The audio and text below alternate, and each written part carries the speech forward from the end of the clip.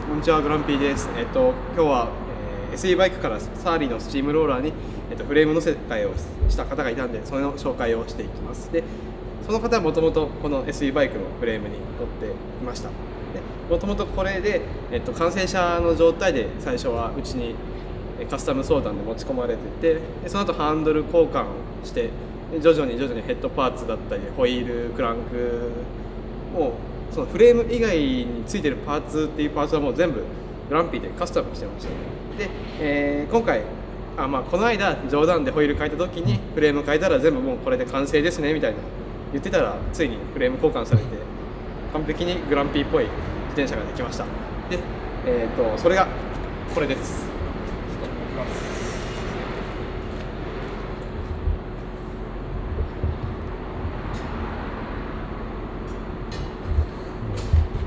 はい、え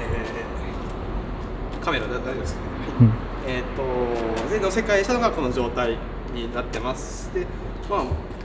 この全体の状態の値段が大体40万円ぐらいなんですけど めっちゃ高級車です。でついてるパーツ一個一個見ていくとピンクのパーツはもう全部あのーピスト乗ってる方だったり、えー頑丈なものが好きな人はよく知ってるフィルウッドっていうメーカーの、えーパーツです。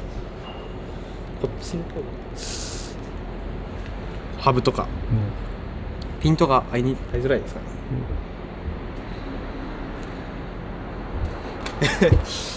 まああのフィルトっていうメーカーの、えーパーツをもう全部全部ですね本当に。ヘッドパーツピンクのこれもフィルウッドでハブもフィルウッドであとちょっと見えづらいんですけど BB もフィルウッドを使用しています。こんな感じで。後ろのハーブもフィルウッドであとシートクランプもフィルウッドです。で,、はい、でここもフィルウッドです。でこれはもう SE バイク時代に全部交換したパーツになってます。ですね。で今回は、まあ、スチームローラーに乗せ替えということで、まあ、用途は街乗りですで、まあ、ゆったり乗れるコミューター仕様ということで、えーもっと SE バイクよりタイヤクリアランスがスチームローラーはすごい広いんでタイヤを交換しました。でこれが、えーシムアクスバイパナレーサーの、えーボリボリューム。ボリューミータイヤ。見えるボリューミータイヤで、えっと、スチームローラーは最大タイヤ幅が 35mm まで入るんですけどこのボリューミータイヤは、えっと、32C ですでロングアーチの、えーあロングリーチの、えっと、ブレーキを使用してもともとこれがついてたんでこういうふうに太いタイヤを入れるようになってます。で太いタイヤは乗り心地が、まあ、エアボリュームがある分良くなるしあとこのボリューミーってタイヤはグラベルキングと同じような、えーまあ、タイヤのヤスリ目なんですけどグラベルキングよりもっとサイドが分厚くなって超頑丈なタイヤになってます。だから長くその毎日使う酷使するってなった時のスタイルとしてはもうこれが一番いいスタイルになってます。全体的に。この人はどういう使い方するんですか？この人はもう完璧街乗りです。使い方的に。だから今度アデプトのラックつけてもらってるんで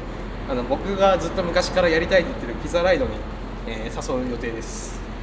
それいつあるんですか？それいてはあの？来週の日曜日。日曜日今のところ誘ってます、まあ、公開されるのはいつかわかんないですけど、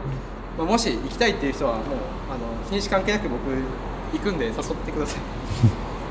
えーまあ、ざっくりそんな感じです。でスチームローラーは、えっと、今これ49サイズなんですけどもこの色メタリックライラックっていう色は53サイズのこれ1本になってます。だからもうなくなると入荷がないんで、えーもう手に入りません。だから欲しい人は早めにお問い合わせくださいラスイチです。あとアデプトのラックの取り付けの注意点。アデそうですね。これもついでに言っときます。アデプトのラックの取り付けの注意点なんですけどフィルウッドのヘッドパーツってここがすごい分厚いんですね。下の。ここですね。だからここのえっとまあ、うえー取り付けの金具のここ角のとこがぶつかってしまう干渉してしまうんでハンドル切るとここがガリガリ削れちゃうんですよだからそれを解消するために、えっと、ここのブレーキのスペーサーを2枚ちょっと入れて当たらないように調整してます。だからもしスチームローラーも乗っててアデプトのラック購入して取り付け方がアドフィールドのヘッドセット使っててここが干渉するってなった時はスペーサーを入れてください。ここは特にもうスチームローラーは干渉しないんですけどたまにここにホイールのえっ、とその脱落防止の爪がよく出っ張ってるフォークがあるんですけどその出っ張ってるフォークはここを削らないと,、えっと干渉してホイールが閉まらないっていう現象があるんですね。でこれは、えっと、ホイールとこのホイール側とフォークとえナットの隙間あナットとフォークの隙間にスペーサーをここも1枚入れてあげて、えっと、アデプトのラックを1個離してあげるっていう、まあ、こういう加工も必要です、まあ今回はスチームローラーなんでその爪がないんで、えっと、そういう加工はしなかったです。ざっくりそんな感じです。あとフレームの値段は、えっと、6万8000円です。はい。じゃあ以上です。終わります。